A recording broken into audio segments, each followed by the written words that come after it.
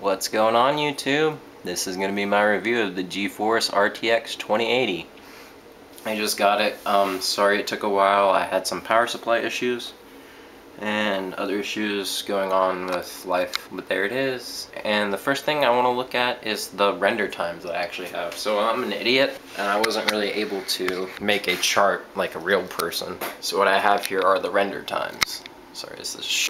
There we go. So with the 6 gigabyte GTX 1060, the render time for full 3D was 2 hours and 30 minutes. Mixed 3D with footage was 50 minutes. Uh, Premiere 4K test was an hour and 20 minutes. And then with the RTX 2080 8 gigabyte, the full render, full 3D render came out at 45 minutes. The mixed 3D or the mixed 3D came out 35 minutes the Premiere 4K test came out at 90 minutes. So over here we can see how much faster that was. That was an hour and 45 minutes faster for the full 3D render, 15 minutes faster for the mixed, and 30 minutes faster for the 4K test. And that's about it guys. Um, other than that, I mean, it plays whatever you want at 4K and it's an awesome graphics card, so I recommend getting one. And thank you guys for watching.